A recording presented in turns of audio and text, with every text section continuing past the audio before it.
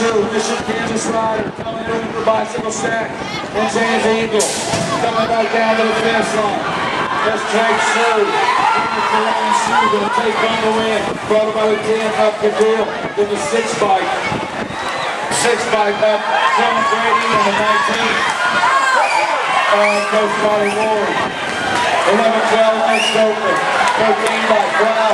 Access good number two bike Johnson. Running one or two right now. Craig and Colton in that three slot. Coming in that final turn. 13 by Matthew Plow. Phoenix, Arizona X Factory. Bringing it up to Ron Croft. Going to get the win. Johnson gets the second.